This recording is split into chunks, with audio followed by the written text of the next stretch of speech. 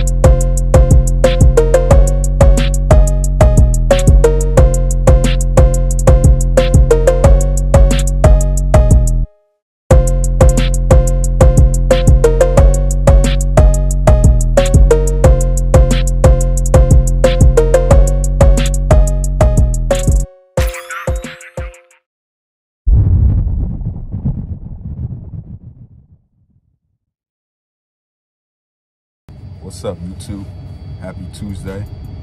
Today I'm going to be sharing with you guys one of my favorite um, diesel trucks that I follow on Instagram. And he does a lot of crazy out of mind things with his with his truck. And it's like one of my favorite um, build. I want to be able to share with you guys. He does burnouts. He does. He definitely his truck has a lot of a lot of cool things done to it. Done to it. I want to be able to share with you guys today. But first thing first, I'd like to say, hope you guys having a great day. Definitely subscribe to your boy channel, man.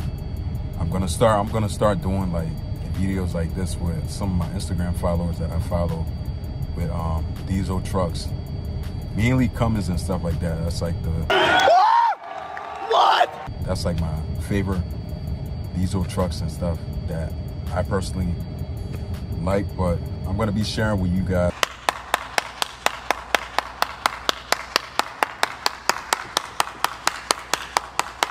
Some of his stuff done to his truck and pretty much a lot of burnout videos mixed up.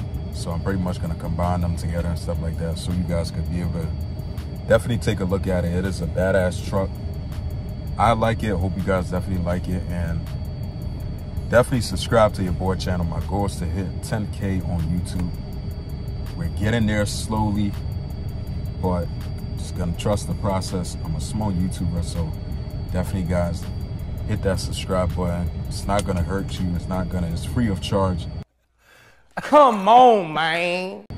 Doesn't cost anything to support a small YouTuber like me. Just trying to chase my dream, trying to reach my goal. And when you definitely subscribe to my channel, it help push out my content out there to people who are like-minded like me. And also you who are into trucks, cars, whatever, like to do a lot of cool things with um, cars and trucks. But this truck, I'm about to show you guys right now. Let's get into it. He has, honestly, this is my own personal opinion. I know there's a lot of cool different builds out there, especially with the 5.9 Cummins or 6.7 and stuff like that.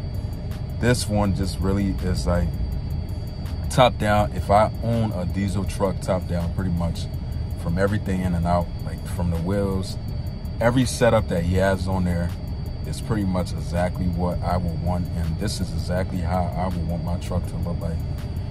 I'm just trying to show some love. So I'm definitely going to drop his Instagram page down in the link. So you guys can definitely take a look at his um, build. I'm pretty sure a lot of people probably seen his truck on the internet before, especially Instagram. And he has one of the coolest, baddest build on Instagram, you know, in my personal opinion. Like I'm not here to argue with you or argue with your mom, this and that, but I just want to be able to show, be able to share with you guys another person imagination that they pretty much build it into reality to be able to share with people like us, like-minded people like us. And it's kind of cool. So I personally like seeing stuff like this. And I'm kind of like, I probably will start making some videos like these two to be able to show love to like Instagram builds that I personally like doesn't have to be diesel trucks and stuff. Could be all kind of builds and stuff. So about to show you guys right now. Take a look. for the 2023 season, but the most important upgrade of all is this. The Spencer, owner of the truck, what's going on?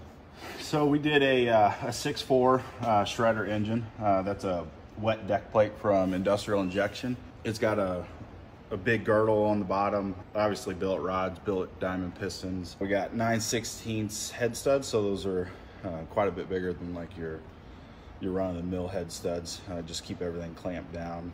Obviously all the, the valve train and you know everything else to go along with a build like this. Still running the two 12 millimeter CP3s from Dynomite. Uh, they did change the injectors. They are a, a new 450% over um, injector, which should be, the injectors will be good for 2300 horsepower to the tires. Might have to upgrade one of the 12s, but we'll see how far we can push it. For the air, we did uh, the same GT50, a Garrett 88 millimeter, but then we paired it with a uh, Precision 118 millimeter that Mario sent us. It's still a 48 RE. Rebuild it because it, it had a hard life. Redid all the intercooling, piping, put a bigger intercooler on it, see how much air we can actually cool. Normally this truck, uh, it ran a 165 gallon per hour with the, the two 12 millimeter pumps and it, it supplied it just fine. But with the, the added power uh, that I'll be shooting for and possibly upgrading to a 14 millimeter, did go ahead and do a uh, FASS titanium 290. So it's still a, a single pump um, and that'll get us, get us where we need. したね。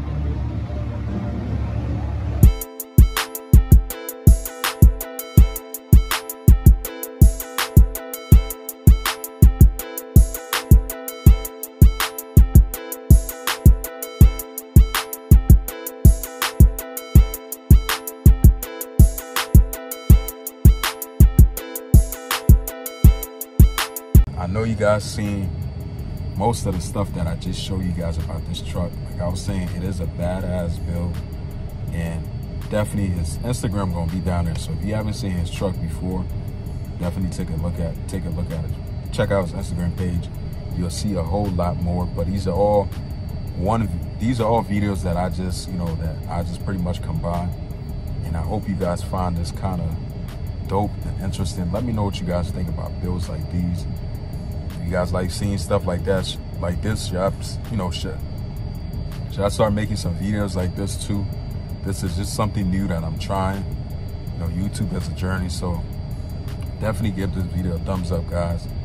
Let me know what you guys think about it. And I'll see you guys in the next one. Peace out.